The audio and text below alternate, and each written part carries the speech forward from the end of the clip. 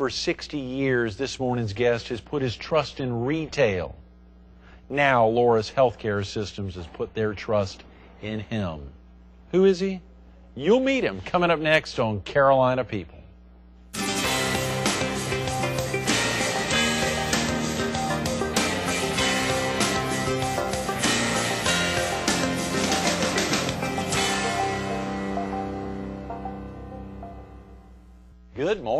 Welcome to Carolina People. This morning we're at Seacoast Medical Center on Highway 9 in Little River. We're focused on the Loris Seacoast Healthcare Foundation, and we're visiting with its founding board chairman, Frank Boulineau. Good morning, Frank. Good morning, Greg. Thank you so much for Good. coming in early on a Friday morning. How exciting to get Good, you good in. to be here. I'm glad I can be here today. And how about the uh, the kickoff of the Loris uh, Seacoast Healthcare Foundation? Literally a year ago, you all had your first board meeting. I think you said. Correct, we did. It was a lot of discussion with the board at the hospital on whether to form a foundation or not. But because of the big expansion plans we have in Loris and at Seacoast, we decided a foundation was the right thing to do to help promote and help fund the hospital. It's common that community hospitals will have a foundation. Is that right? Yes, I think all the hospitals in our area, exception of Grand Strand, have foundations. Uh, Conway has a foundation. Georgetown has a foundation. So it's very important to, to help the hospital and support the hospital in many ways. You know, I was fascinated in reading a little bit for Tim Brown, who was with us on Monday, to see the amount of 185 million, I believe, in annual revenues coming out of Loris Healthcare System. I mean, so it is a big group. It's not a small, like it was maybe in, uh, I believe, 1950. Uh, things have changed quite a bit. Certainly they have. Yes, the hospital started in Loris in 1950, so there have been major changes since then. And of course, the biggest move that made is when we came to Seacoast here a number of years, three, uh, just a few years ago. It was just a few years ago. Yes. hmm So this has been very good for the community and very good for the Loris hospital system too. And of course, we have the beds coming up shortly too. We're going to build 50 beds here. 50. 50 beds, yes. The Construction will probably start within the next year, roughly. So That's that'll be very good for the area. Actually, um, Little River, North Myrtle Beach is the largest community in the state that's not serviced by a hospital. Is so that this right? is something we need very badly in the area. Little River, North Myrtle Beach is the largest community in the state. Not to repeat you there, but I mean just to take that in, to think about the population explosion up here, and to think about not having a, a big hospital. That's right. And of course, we're fixing to have a lot more explosion and growth too with the growth on Highway 9. There's a lot of major projects that have been announced out here, right across the road from us here. At Bay Tree is going to be a big project. So Mm-hmm. the area, the north end of the county is really growing. Real quick about yourself, Frank. Are you originally from the area? Well, I actually was born in Bishopville, South Carolina in 1948. Oh, wow, you 47, I was actually yourself, born. yeah. Yes, Right, born in 47. Uh, my father moved here in 1948 to the Cherry Grove, which was actually Cherry Grove, the city of Cherry Grove at that time. Right. He right. moved here because he loved to fish. Um, and he was in the retail business in Bishopville, but so he moved his retail business down here, uh, grocery business. And of course, in 1948, in, in Cherry Grove, there were probably 100 houses in the entire city. Well, there were. Uh, Cherry Grove actually ended just a few blocks up because Cherry Grove, what is known today, was actually an island at that time. Is that so C.D. right? Nixon in 1952 filled the inlet in to make Cherry Grove the size it is today. Wow. Um, but my grandparents and parents actually have been coming here since the early 30s. is that right? From Bishopville. from Bishopville. You still have yes. family down there. Uh, not very much. No, most everybody followed us to the beach. Is Right, what happened really in, here, the, I'm sure. in the 60s and the 70s, Yeah. actually. Um, And what, and what business was that your father founded in 1948, Frank? They founded a grocery store, a typical Okay. beach type grocery store, and of course, back then grocery stores weren't as big as they are today. Uh, you didn't have all the selection in a grocery store. Um, I can remember when I was young, you actually had to package a lot of products that you sold and so forth. If you bought rice and those type of things in a 50 pound bag. And you would actually individually package- packaged them. Yes. Wow. Did you grow up in the family business? Frank? yes. hmm Been very involved in the family business all of my life, actually. Mm-hmm. Um, and whenever I got a little older and, and got married, we got very involved in the growing Boulineau's. Actually, we have a pretty much a complex in Cherry Grove now. It's what we have more than just a grocery store. Boulineau's the complex. Right. Wow, Frank. For viewers who may not have been there, and I've never been there, I'm sorry to say, uh, should come up to this part of the county more often. But give us a, just a sense of what's there when you talk about it as a complex. Is the grocery store still a part of it? Primarily, business right now is a grocery business. We have a, an 80,000 square foot grocery store. Oh, come on. Yes, we do. Yes, which is Wow. which has a lot of variety type merchandise in it. But primarily, our gross business in that store is the grocery business. Yeah. We also have a large gift shop in the same area in the same complex. Wow. Have an ice cream shop, a laundromat, car wash, uh, very modern True Value hardware store where we do all the things hardware store do, from cutting screen to mixing paint, all those type of things. How exciting. Um, also have a, a Shell gas station and a convenience store too. So we all cover right all the there on site. Yes. hmm Son of a gun. And you still uh, live up clearly up in this area, Frank. Yes. Yes. I live on 45th Avenue, which is just about a mile from where the store is on Sea Mountain Highway. Right. Do you walk to work? Uh, not very often. I anymore, probably yeah. should, but I don't do much of that. My wife takes a lot of exercise and she walks a lot, but I haven't started doing that yet. Yeah. Well, you look fine. Obviously, that had an impact impacted you one iota. Do you have family that are, have grown up in the business uh, or have remained in the business? Any of your kids? No, I don't. I have two children, and neither one of them have a lot of interest in the retail business. Maybe they worked in it too much when they were young, maybe. uh, but one of them is in the banking business, and one is in the restaurant business. So neither right? one of them work in the business. Yeah. We have a lot of employees that's worked for us over 20 years, though. Really? We have some very good management and some good, a good general manager and everybody. So we have a very good operation. You very good employees. Celebrating 60 years this year. Yes, 60 years. 2008. Wow. That's a big deal. It is, yes. And to think about, do you still have pictures around the uh, around the complex there of Boulineau's back in '48, and, and it was called Boulineau's back yes, then. it was called Boulineau's then. Yes, right, Mhm. right. Yes, we do. Actually, I have a picture of the first store showing myself and my father and my grandfather standing in front of the store. Oh boy. It was taken actually in 1951, actually. Oh, but we have a number of pictures of that time. And some pictures of East Cherry Grove, which in those days there was just nothing there. I mean, Right, I can remember when I was a boy, there were sand dunes 20 foot tall where the store sits today. Um, we don't see sand dunes today, right? We, No. we see a few sea oats, but that's about it. How exciting, Frank, for you. Do, could you have ever imagined, uh, even growing up, or think back to your early childhood days about, uh, for instance, this area where Seacoast Medical Center is now, or as you said, the expansion that's going to take place across the street at the former Bay Tree? What was this like back then, and what did you ever imagine it would become? Well, there was nothing here back then. I mean, even Sea Mountain Highway in Cherry Grove, when you got away from the ocean just two blocks, there was nothing on Sea Mountain Highway. And today there are businesses pretty much all up and down Sea Mountain Highway. Um, I guess we'd have had better foresight, I guess, back then. We'd have bought a lot more real estate and done things a lot different than what we did. Uh, my grandfather actually bought a lot in Cherry Grove in 1933 and paid $100 for it. No. And two years later, he bought a second lot and paid $300 for it. But the problem is he never bought another lot. He didn't buy anymore. so all the property I accumulated, I did it in the late 60s, the property I accumulated, and up till today. Yeah, yeah. Um, How fascinating, Frank. You know, as you think about, of course, for you, the growth, and now retail's changed a good bit as well over your uh, time period of being involved in the family business. yes, it certainly has. Number one, it's become very competitive. Um, in the 50s and 60s, of course, most of the businesses were independent type businesses. Today, they're mostly chains, is what they are. Mm-hmm. Right, Independents have had a hard time, and most independents are gone today for one reason or another. Mm-hmm. It's just very hard to get the financial backing to make a store work this day and time. Do you have a pharmacy there in the facility as well? No, but we're in the process of planning a pharmacy. Is right that now. right? Yes, That'll be a are. Mm-hmm. great addition, I'm sure, as y'all plan that out. That's something we've needed for several years. We just were reluctant to do it because of having to rely on a pharmacist, you might say, and Right. that's tough. If our if our market manager doesn't come to work today for some reason or is sick, we can go cut meat pretty easily. But the pharmacist doesn't come to work, you can't fill a prescription. So Mm-hmm. That's a great point. that's the reason we've kind of held off. But we are working on that now, and I'm planning on opening in that not this coming summer, but the summer of 2009 is our plan right How now. exciting, Frank. You know, as you think about, as you, as you talked about the 50 bed expansion here, now is that going to take place at Seacoast Medical Center or at Loris uh, Hospital, or is it going to be split between the two? Now, the 50 beds will be right here at Seacoast. Really? And Great. The plans today are to build the 50 beds right behind this complex in a new tower that we're going to build. Mm-hmm. And we're also going to build it where we'll have room for further expansion too as the need arises in the area. Okay. Um, now in Loris is actually going to be an addition there with an emergency center, new pharmacy, and new items that we need in that area. Um, the emergency room in Loris is very busy. Uh, hasn't been updated in a good many years. So we're going to put a whole brand new uh, emergency room in a little different location. So we'll have a very nice facility there. How exciting, Frank. Your service as chairman of the Loris Seacoast Healthcare Foundation means you're actively involved in both locations, both of the main locations in Loris and here at Seacoast. Uh, yes, very involved in it. And of course, the first year has been real interesting getting it up and get it started and everything. Yeah, yeah. Uh, we actually only have one staff member, Tammy Eves, which has been with us a while, and she's done a great job. Absolutely. But she has her hands very full with everything she has to do. Oh, yeah. And we have several events coming up in the next few months that we're planning, so we've all been very busy. We have Right. a very active board of directors, too, in the foundation. They're, Yes, They're very hands-on. We have 11 members on the board is what it is. Right, right.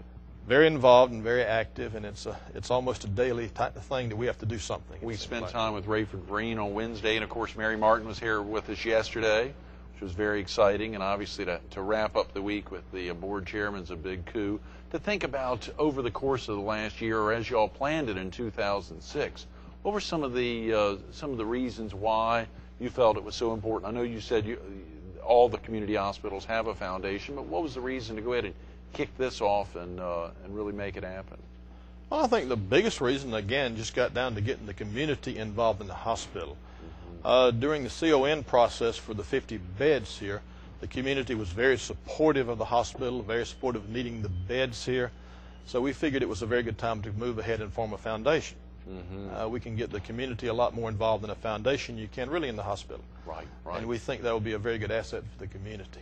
And North Myrtle Beach and, and Little River work very good together on Oh, things. yeah. So we Oh, think yeah. that'll be great. An example, the, the Little River North Myrtle Beach Chamber of Commerce are going to have a joint after hours here in March. Great. So very think exciting. Things like that will be very good. Absolutely. And Mary shared that with us yesterday, and that will be very exciting. You know, we talked about, you mentioned CON. For viewers who may not be familiar, is that the certificate of need? A certificate of need, yes, for the hospital, which is done through DHEC, and that's Right. a very involved, very long process Oh, where yeah. the DHEC comes in and basically decides if there's a need for the hospital in the area. So Right. that took quite a while. It did, very definitely. If a viewer needs to get off to work now, Frank, or get family off to school, what's the best phone number for someone to call about the foundation? Is that the 390 8215 number? Correct, yes. Okay. That's a good number. lorishealth.org if they wanted to go online. And I think you said there's a link to the Loris Seacoast Healthcare Foundation. There is, yes. yes. Okay, great. You know, as you think about, uh, as we think about some of those expansions up and down, as Highway 9 is continuing to grow, that's, I guess, the main corridor that hooks the two communities together.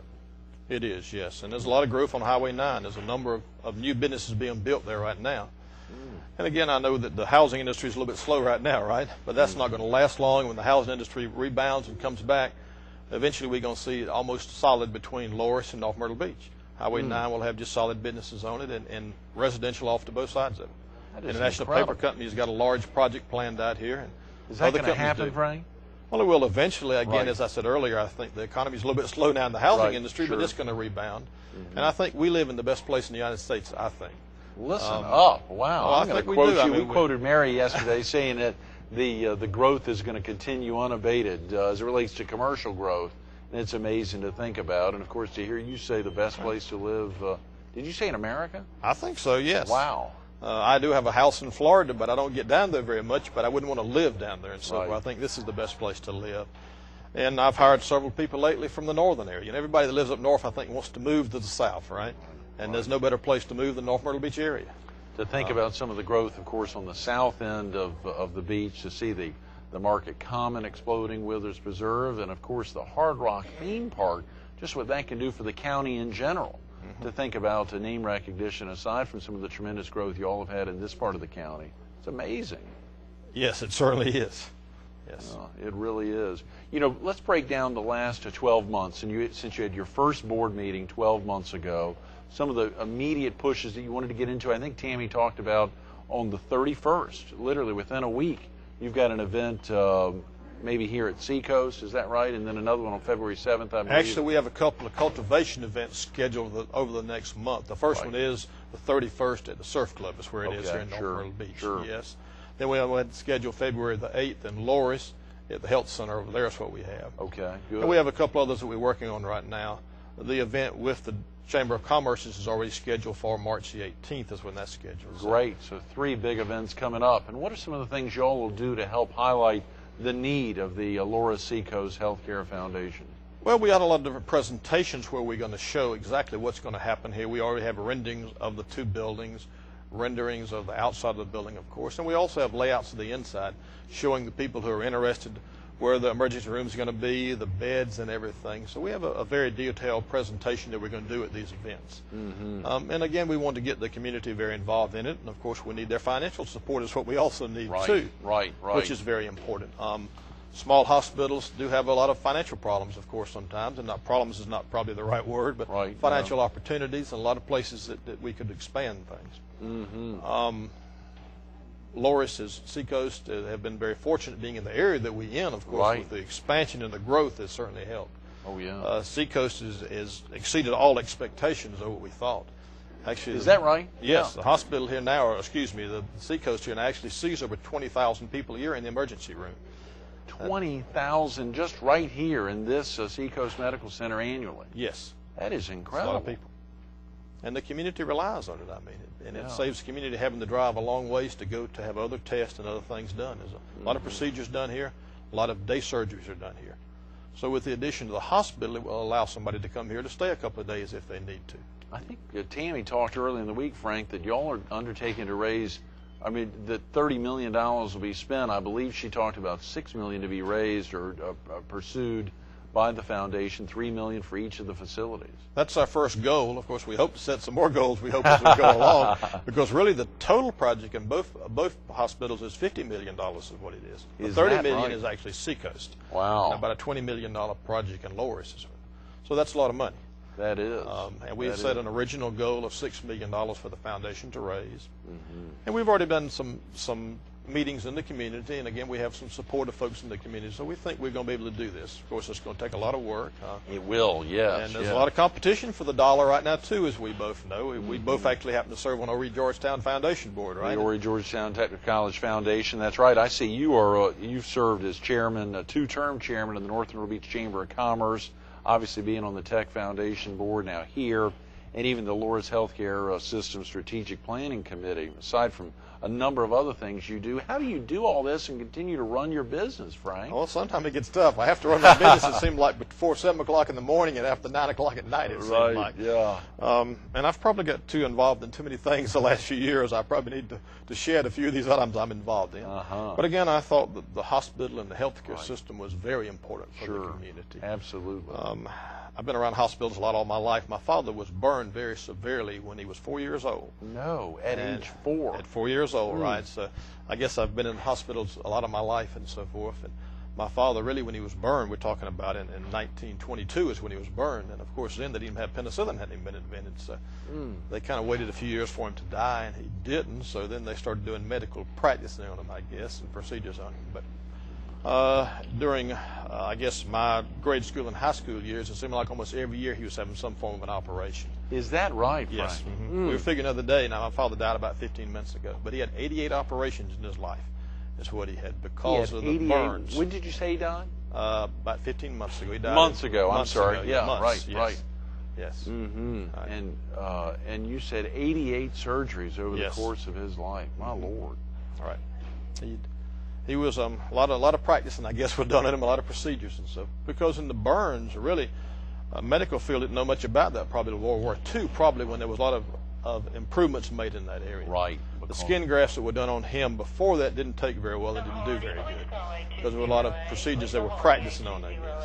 But maybe for that reason, I guess is one reason I was very interested in in the medical profession in Seacoast and the hospital here. That's very important. Of course, that highlights we're here in the lobby of Seacoast Medical Center. Things going off uh, all morning, and, it, and clearly the activity level is high at all times. Here on a Friday morning at seven to see this kind of influx of folks, but it is 24/7 here, isn't it? Yes, it is. Emergency room, of course, is open 24/7. Right. Right. Uh, and a lot of folks come in here. Um, it's, it's interesting to be here sometime and see the helicopter come in when somebody has to be transferred to Charleston or Wilmington or something like that. Oh, yeah. know. Oh, A lot of that happens now with the modern medicine that we have. mm-hmm. A lot of trauma centers around the area where people can be transferred if it's necessary. So it's very interesting. Frank, for you, you know, as you think about it, and as you travel up to Loris itself and back and forth, and to see some of the expansion, as you've been visiting hospitals virtually your entire life, can you think about pinpoint some of the real changes that have, uh, of course, some of the improvements since you got active with Loris and Seacoast? It's been uh, the improvements have been incredible. Oh yes, yes. The medical field. I mean, just simple things that we uh, couldn't do a few years ago, we do so easy today, right? Mm-hmm. I guess if you mm-hmm. go back a few years ago, I guess what used to make the biggest impression of me when I would go in the operating room or into the uh, room after my father's operation was the amount of blood and so forth that, Right. that happened. And of course, today they control blood bleeding very easily with They the really different do. medications they do. It's mm-hmm. just different. Uh, the procedures are done so much easier now. The new X-ray machines that are they're out there. Loris and Seacoast right now are getting a new 64 slice X-ray type machine, which Is that again, right? it's, just, it's unbelievable what that machine will do compared to just five years ago. Mm-hmm. Technology has changed so much. Share with viewers, of course, uh, they if they were with us on Wednesday, they had a chance to spend some time with Rayford Vereen yesterday with Mary Martin. Who are some of the other folks that make up the board? You don't have to give us all the names, but a little bit about uh, some of the folks that, that serve on the board with you. All uh, 11 of you all, I believe, from the get-go. Is that right? Uh, we've actually added a couple since we Okay, started and so good. forth. A new board member is Rima Hewlin. Yes, Uh, she lives in the. Tidewater area, so she's a new board member. Right. Uh, Harry Thomas, who has lived in the area by most of his life, I guess, used to have the Toggery shop in Ocean Drive. Right. And his daughter has um, Joan Crosby there in Myrtle Beach. so- Yes, of course. But he's very active. He's been a, a major help with the foundation. It Mm. seems like weekly we talk about something or have a meeting to plan something with the foundation. That's tremendous. Uh, Dr. Ray, I think you mentioned, which is an Yes. optometrist area in um, Ray, the Loris right. area, Mhm. right?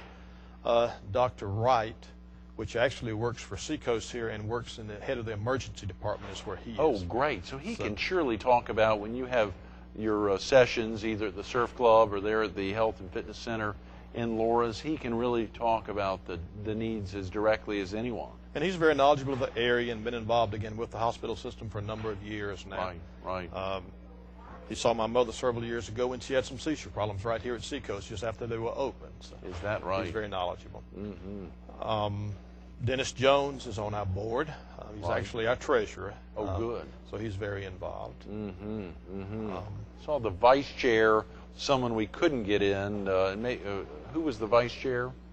Uh, Ed Prince. Ed is, Prince, is exactly. right. Right. Ed's right. actually on vacation this week. Yes, I think he's I somewhere in the islands this week. We'd so love he- to have him he's in, enjoying but, the pretty uh, weather down there. particularly excited to get Rayford earlier in the week, and uh, and obviously Tim Brown to kick off. Is he also on your board? Yes, he is. Yes. Okay, so he has a dual role there, and I understand that was pretty much his brainchild. He'd been working hard to kick that off. I'm sure you and he had talked about Right. that for a long yeah, time. a number of the board members had talked about the foundation for a good while, and it probably took us two years to decide to do it. Mm-hmm. Uh, we had a company come in and help us some with the development of it. Great, good. Pretty much in the last year, we've taken it and pretty much run with it. And again, it's Mm-hmm. been great to have people like Rayford Vereen or Ed Prince or Harry Thomas, all these people to just have weekly meetings to talk Mm-hmm. about this and to plan it and move forward.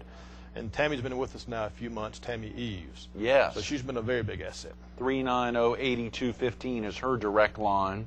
If viewers uh, want to pick up the phone and call right in to find ways, what are some of the types of uh, ways that if someone was to make a donation that those dollars would be expended? Is it principally for, uh, for actual physical plan, or will those, those be going into, uh, into activities themselves?